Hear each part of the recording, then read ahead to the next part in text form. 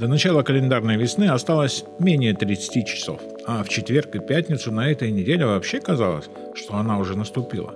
Но синоптики, и если вы помните Сурок, он же Бабак, еще 2 февраля прогнозировали, что зима еще будет нам напоминать о себе первые две недели марта, возвращаясь в виде мокрого снега, дождя и минусовых температур. И все же, если вспоминать, особенно февраль, то зима 2021 года удалась на славу.